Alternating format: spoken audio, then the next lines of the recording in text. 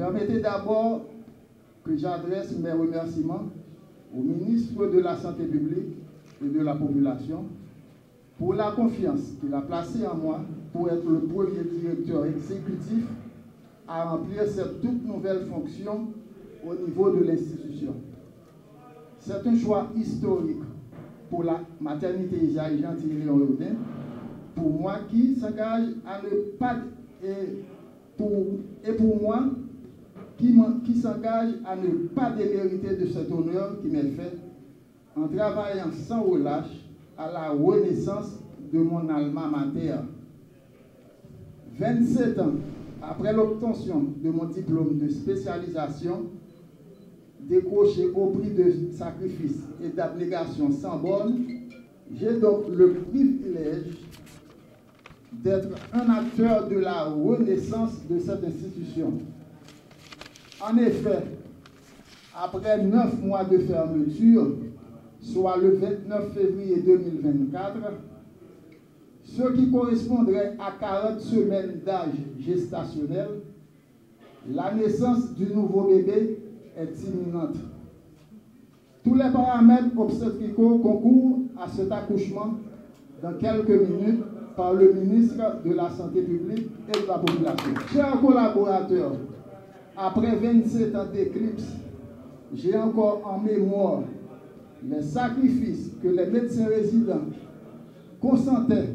pour pouvoir réussir leur formation. En effet, notre feu directeur médical, le docteur Isaac Désir, pour qui j'éprouve une pensée très spéciale en ce moment, imposait un quota de gestes médicaux ou chirurgicaux que chaque médecin résident devrait respecter pour l'obtention de son diplôme. ceci a eu comme effet de les stimuler. Et en dépit de la crise sociopolitique qui sévissait à l'époque, on n'arrêtait pas de travailler, en dépit parfois de l'absence d'électricité. On s'arrangeait pour utiliser d'autres moyens d'éclairage non conventionnels en salle d'opération, juste pour sauver la vie de nos patientes. Aujourd'hui, que la situation sociopolitique frise le chaos, il faut nous inspirer de ces actes héroïques pour nous surpasser et nous rendre utiles à la communauté. Le temps n'est plus aux paroles, mais plutôt aux actions. Je vais m'arrêter en invitant nos collaborateurs immédiats, nos partenaires, les membres de la population qui seront les premiers bénéficiaires d'une maternité Isaïe Gentil et Léon Audin régénérée à nous supporter afin qu'on puisse mener à bien cette noble mission qui est de mettre encore une fois la maternité au service de la collectivité qui en a tant besoin. En cette belle matinée de 2 décembre 2024, j'éprouve une très grande joie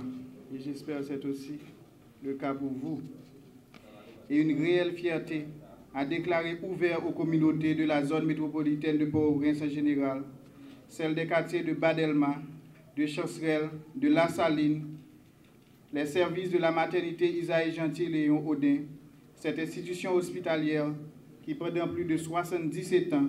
a fourni des services de santé de la reproduction, particulièrement des soins aux femmes enceintes,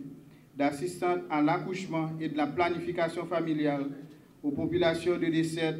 tout en formant plusieurs générations de spécialistes qui se sont déployés dans toutes les communes du pays, mettant leur expertise au service des familles, des classes moyennes et vulnérables du pays. Après 77 années de service aux couches les plus vulnérables du pays, la maternité Isaïe Gentil Léon Audin a été contrainte de fermer ses portes le 24 février de cette année, au grand désarroi des riverains en raison d'une situation de violence aveugle qui, mettait en péril la vie des patientes, des prestataires et du personnel de soutien. Conformément aux directives du Conseil présidentiel de transition et du chef du gouvernement, aux responsables du MSPP, nous allons procéder ce matin à la réouverture progressive de toutes les institutions de santé vandalisées et ou fermées en raison de la crise sécuritaire. je me suis fait le devoir de tout mettre en branle pour la réouverture de cette institution si vitale pour les couches vulnérables de la population de l'ère métropolitaine de Port-au-Prince. C'est donc avec une légitime fierté que je pose ce premier jalon de la réouverture progressive des établissements acculés à la fermeture par le déchaînement de violences aveugles que le pays a connu au cours des dernières années. Ceci n'est que premier pas qui sera suivi de beaucoup d'autres jusqu'à ce que l'offre de soins soit rétablie dans son intégralité.